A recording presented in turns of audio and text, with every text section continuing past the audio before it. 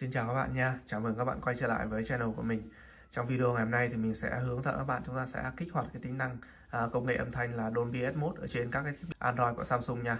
Thì các cái thiết bị điện thoại Android của Samsung từ những cái thiết bị giá rẻ tầm trung cho đến cao cấp thì hãng có hỗ trợ một cái công nghệ âm thanh gọi là Dolby S1 và không phải ai à, khi mà sử dụng điện thoại Samsung à, cụ thể là đây thì mình sẽ sử dụng điện thoại Samsung lâu rồi.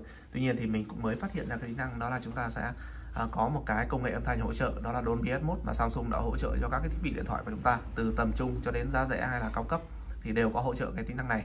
À, và các bạn lưu ý là đối với những cái thiết bị giá rẻ thì các bạn muốn kích hoạt những cái tính năng này lên thì các bạn bắt buộc là phải cắm vào cái thiết bị à, ví dụ như là tai nghe hay là những cái loa có kết nối Bluetooth hay là thông qua cái jack là 3,5 còn đối với những cái thiết bị cao cấp ví dụ như ở đây mình có cái thiết bị là Samsung Galaxy Note 10 Plus 5G này thì các bạn sẽ kích hoạt trực tiếp và các bạn có thể là sử dụng luôn bằng cái loa ngoài của chiếc điện thoại mà chúng ta không cần phải kết nối với những cái thiết bị ngoại vi ví dụ như là tai nghe hay là loa nha. Và để bật và cũng như là kích hoạt cái tính năng là âm thanh Dolby atmos trên điện thoại Samsung thì các bạn sẽ làm như sau. À, các bạn sẽ mở cái phần cài đặt trên điện thoại Samsung lên. Tiếp theo thì các bạn sẽ chọn vào cái phần đó là âm thanh và dung các bạn chọn vào.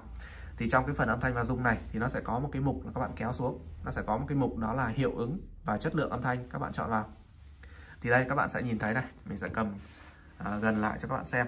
Ở đây nó sẽ có một cái phần đó là Dolby Atmos và nó sẽ ghi là trải nghiệm âm thanh phát media đột phá à, đột phá vang vọng từ phía trên và xung quanh bạn này. Đó. Thì cái công nghệ âm thanh này đối với những cái thiết bị cao cấp ví dụ như là chiếc Samsung Galaxy Note 10 Plus này thì các bạn hoàn toàn có thể kích hoạt lên bằng cách là chúng ta gạt như này. Còn đối với những cái bạn nào mà xem xong cái video này của mình mà các bạn đang sử dụng những cái thiết bị tầm trung hay là giá rẻ của Samsung thì các bạn sẽ thấy là đây nó cũng sẽ có một cái mục là Dolby Atmos, tuy nhiên thì các bạn sẽ không thể nào mà gạt cái phần này lại nó sẽ không cho phép chúng ta gạt nha.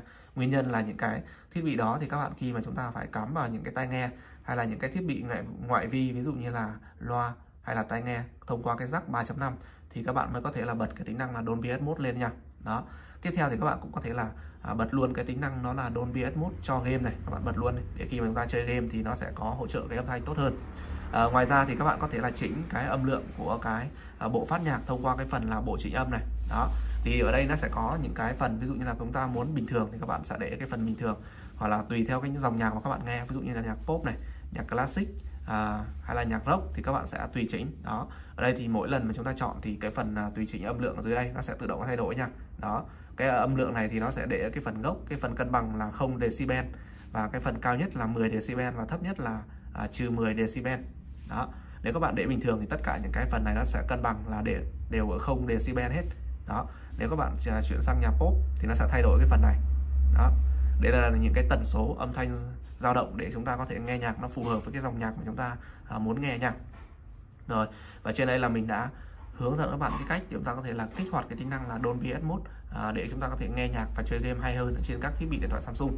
Và mình xin nhắc lại một lần nữa là đối với những cái thiết bị giá rẻ và tầm trung à, thì khi mà chúng ta vào cái phần là hiệu ứng và chất lượng âm thanh thì cái phần là Dolby Atmos này các bạn cần phải cắm với cái tai nghe hoặc là cái loa thì chúng ta mới có thể kích hoạt được cái tính năng à, chúng ta mới có thể kích hoạt được cái hiệu ứng âm thanh là Dolby Atmos còn đối với những cái thiết bị cao cấp thì các bạn sẽ bật trực tiếp ở đây luôn có nghĩa là nó sẽ hỗ trợ cho chúng ta cả phần loa ngoài trực tiếp ở trên điện thoại rồi và video hướng dẫn của mình thì xin kết thúc ở đây. À, hy vọng là cái video này nó sẽ giúp ích để cho các bạn các bạn xem video của mình nếu thấy hay. Đừng quên nhấn like và đăng ký kênh để ủng hộ mình.